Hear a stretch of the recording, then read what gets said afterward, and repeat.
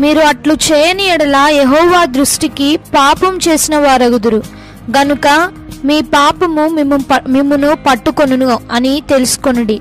సంఖ్యాకాండము ముప్పై రెండవ అధ్యాయము ముప్ ఇరవై మూడవ వచనం. పాపము బహు భయంకరమైనది పాపం చేయువాడు మరణమునకు పాత్రుడు. పాపం చేసి తప్పించుకొనగలిగిన వాడెవడనూ లేడు. పాపము ప్రారంభంలో మంచిగా ఉన్నప్పటికీ దాని అంతము కఠోరము.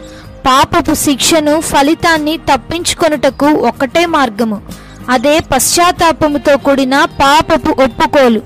భయంకరమైన పాప శిక్ష నుండి మనలను తప్పించుటకు యేసు ప్రభు ఏర్పరిచిన మార్గం మన పాపములను మనము ఒప్పుకొని నెడలా ఆయన నమ్మదగిన వాడును నీతిమంతుడును గనుక ఆయన మన పాపములను క్షమించి సమస్త దుర్నీతి నుండి మనలను పవిత్రులనుగా చేయును. ఒకటో యోహాను ఒకటో అధ్యాయం తొమ్మిదో వచనం. హామాను అను ఒక అధికారి మొర్దెకై అను ఒక ఉద్యోగి తనకు మ్రొక్కలేదని అతనిపై ద్వేషం పెంచుకొని అతనిని ఉరితీయించుటకు ఒక ఉరికంబమును చేయించెను. అయితే చివరికి అతని కుట్ర బయటపడినందున అతడు మొర్దకై కొరకు చేయించిన ఉరికంబం మీద రాజు అతన్నే ఉరితీయించెను. మోసపోకుడి దేవుడు వెక్కిరింపబడడు. మనుషుడు ఏమి విత్తునో ఆ పంట కోయును. అయితే పాపం ఒప్పు కనుక కప్పుకున్న వారికి క్షమాపణ లేదు. అతిక్రమములను దాచిపెట్టువాడు వర్ధిల్లడు. వాటిని ఒప్పుకొని విడిచిపెట్టువాడు కనికరం పొందును. పాపము చేయడమే తప్పు. చేసిన పాపమును దాచిపెట్టుకొనడం మరింత పెద్ద తప్పు అన్నాడో వ్యక్తి.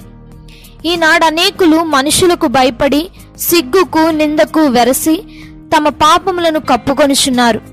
అయితే నీవు దాచిన పాపమే తప్పక నిన్ను బయటపెట్టును. నీవు చేసిన పాపము నిన్ను బట్టబయలు చేయును.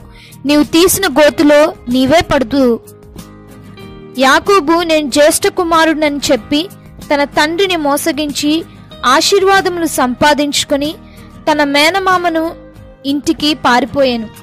అచ్చట చిన్నదైన రాహేలును పెండ్లాడగోరి ఏడు సంవత్సరములు కొలువు చేసిన తరువాత అతని మామ అతనికి రాహేలు అక్క అయిన జబ్బు కన్నులు గల లేయాను ఇచ్చి పెండ్లి చేసెను. పెండ్లి అయిన తరువాత లేయా ముసుగు తీసి చూసిన యాకోబు తాను తన తండ్రిని మోసగించినట్లే తన మామ తనను మోసగించినని తెలుసుకొనెను. గనుక మోసగించిన తరువాత మోసపోదుమని తెలుసుకొని దేవుని భయము కలిగి ఉండుము. యెషయా ముప్పై మూడవ అధ్యాయం ఒకటో వచనం. గనుక అల్లరి తుంటరితనము చిన్న చిన్న దొంగతనములు అబద్ధములు వంటి నీ యవన కాలపు పాపములను వ్యభిచారము జూదము త్రాగుడు ధనాశ పిసినిగొట్టుతనం వంటి ప్రతి పాపమును ప్రభు సన్నిధిలో ఒప్పుకొనుము. లేనిచో నీ పాపములు నీ మీద దోషారోపణ చేయును. నీ పాపములే నిన్ను న్యాయ తీర్పునకు తరుముకొని పోవును. కొందరి పాపములు తేటగా బయలుపడి న్యాయ తీర్పునకు ముందుగా నడుచుచున్నవి. మరికొందరి పాపములు వారి వెంట వెళ్ళుచున్నవి. అప్పుడు శిక్షను తప్పించుకొనుటకు వేరే మార్గము లేదు.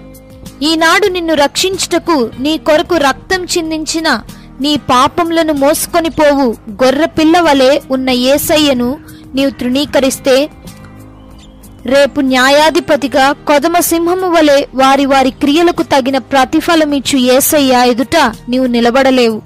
గనుక నీ పాపములు నిన్ను పట్టుకొనక ముందే ఏసయ్య పాదములు పట్టుకొనుము. ఆయన తప్పక నిన్ను క్షమించును.